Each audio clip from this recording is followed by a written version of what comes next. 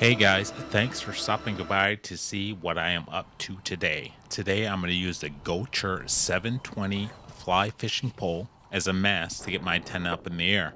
I'm going to use some inexpensive cordage that I found at Home Depot and we're going to make a contact.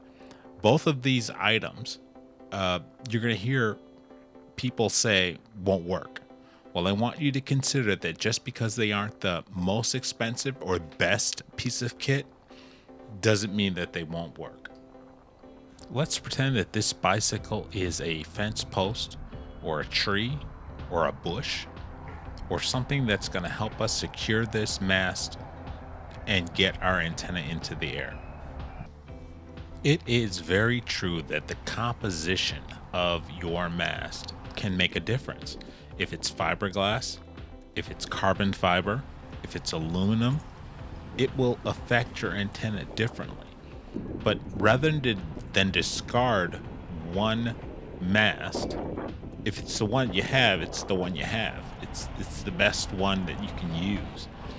Learn the effects of the properties of your equipment and then make the best of it. Let's see if our inexpensive fishing pole and surveyor line do the trick.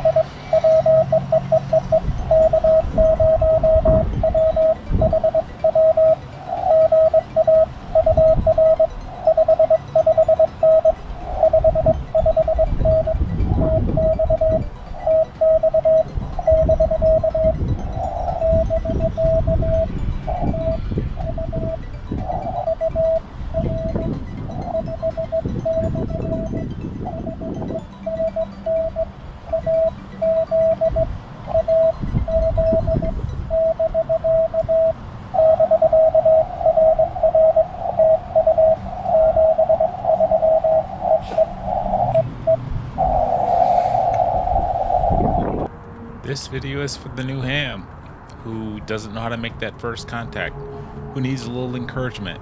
Get out there and make that first contact. One will lead to two, two will lead to three, and so forth. Thanks for dropping by, guys.